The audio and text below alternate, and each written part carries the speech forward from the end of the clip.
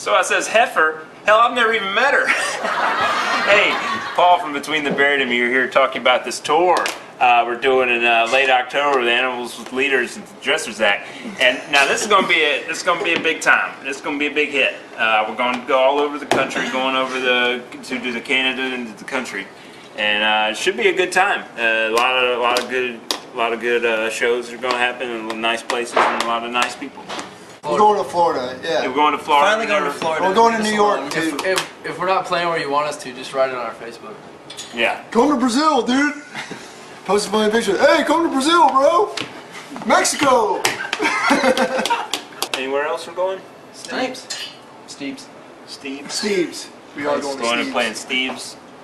Some special Halloween show with Caven and the Red Cord. Yeah. Yeah, that's gonna be a highlight of the tour. That's But the day before Halloween. Actually, It's a really big deal, though. It's going to be our last headlining tour for a long time. dun, So if dun. you're trying to get your BTBAM fix, do it now or Watch your BTBAM yeah. Don't you cough on my shoulder when we're making the video. Yeah. Trying to make that dollar. Bye, sir. Goddamn. that's about it. All right, we'll see you guys. Thank you. Bye. Bye. See ya. Steve Vai.